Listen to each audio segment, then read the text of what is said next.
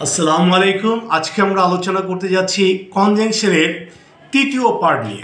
আমরা জানি কনজাংশনকে তিন ভাগে ভাগ করা হয়। একটা হচ্ছে কোঅর্ডিনেটিং কনজেশন আর হচ্ছে সাবঅর্ডিনেটিং কনজেশন এবং তৃতীয়টা হচ্ছে কো রিলেটিভ কনজেশন আজকের আলোচনা হচ্ছে correlative conjunction correlative conjunction আসলে কি? যেই কনজেশন হচ্ছে জোড়া ওয়ার্ড তথা একটি ব্যবহার করলে আরেকটি অবশ্যই তার প্রয়োজনীয়তা দেখা দেয়। একটিকে ছাড়া আরেকটি চলে না। এ ধরনের যে কনজেশন সেটাকে আমরা বলব কো রিলেটিভ কনজেশন এটার সাথে আরেকটা রিলেটেড রয়েছে।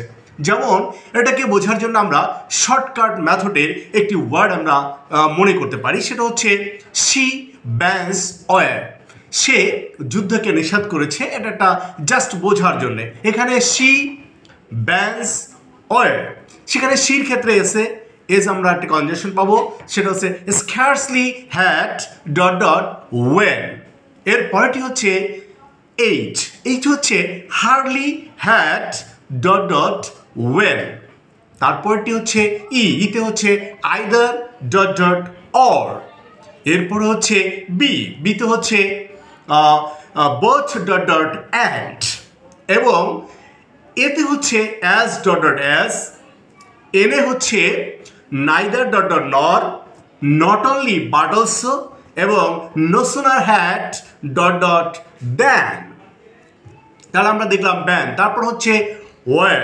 ডাব্লু ডাব্লু তো হচ্ছে ওয়েদার ডট অর এ হয়ে গেছে, এবং আরই হচ্ছে রেদার ডট ডট দ্যান আমরা পেয়েছি এগুলো এমন একটি কনজেশন যেটা হচ্ছে রিলেটিভ কো রিলেটিভ কনজাংশন এক্ষেত্রে আমরা একটা এক্সাম্পল দেখতে পারি।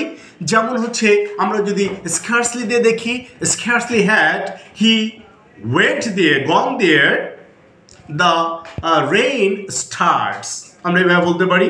Hardly had we reach there the station the train left hardly had we reach the station when the train left তার মানে আমরা স্টেশনে পৌঁছাতে না পৌঁছাতেই ট্রেনটি ছেড়ে দিল।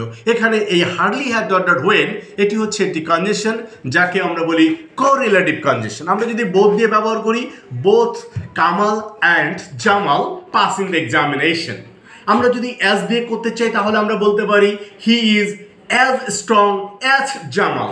সে হচ্ছে জামালের মতোই শক্তিশালী।